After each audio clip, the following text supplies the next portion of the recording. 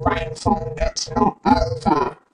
We're going to pee on Rainfong because we're flushing down the toilet. Hi, welcome to Weedle's Kitchen and today I'm gonna get revenge on Rainfong.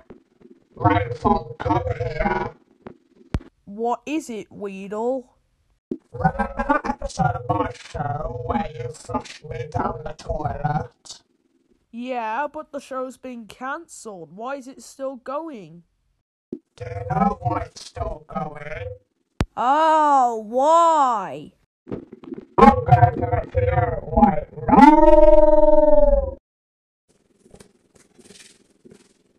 Hey, Rainfong. What? Guess what? Oh, what? I'm going to stop hitting on you.